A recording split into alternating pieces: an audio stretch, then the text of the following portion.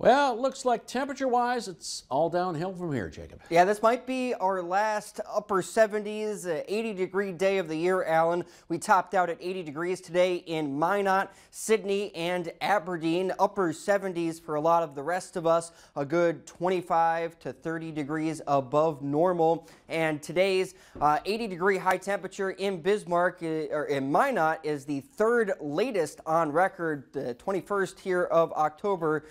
Coming for our 80 degree reading rather late in the year. The uh, latest on record is October 30th of 1950. Normal high temperatures for this calendar day in the 50s, and that's where we are right now, and we'll drop back to near normal to slightly above normal temperatures for the rest of the week, closer to normal at least. Uh, but for tonight, look for overnight lows in the 40s with clouds increasing and a few rain showers moving through, especially across the north. Here's how the system evolves with those scattered showers moving along mainly the Highway 2 corridor around Williston, around 3 a.m., and then shifting towards Minot between 4 and 8 a.m. tomorrow morning.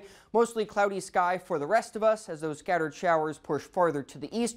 We'll see a northwest wind be introduced behind this cold front. Some gusts upwards of 30 miles per hour tomorrow with that mostly cloudy sky, the exception in southwestern North Dakota where more sunshine will be found. But 40s and 50s tomorrow afternoon, much cooler than today as those clouds decrease for Tuesday night. A freeze is likely heading into Wednesday morning as the cooler temperatures prevail. But here's the rain forecast showing that stripe of possibly a tenth to a quarter of an inch along and north of Highway 2 towards the Canadian border. Not expecting much, if anything, along the I-94 corridor. High temperatures tomorrow forecasted to be at 48 degrees Williston and Minot, in the 50s for a lot of us, and still hanging on to the 60s towards South Dakota. Stronger northwest wind develops behind this cold front. We could have some gusts around 30 miles per hour tomorrow morning right behind that cold front in portions of south central North Dakota, but then region wide wind gusts will be between 20 and 30 miles per hour out of the northwest throughout our Tuesday. Heading into Wednesday, the winds switch direction to be out of the southwest. That's a bit more of a warming wind, helping to increase temperatures back into the 60s with a lot of sunshine for the middle portion of our work week. So you can see that rebound in temperatures for Wednesday. Temperatures running a little bit above normal as we go into next weekend.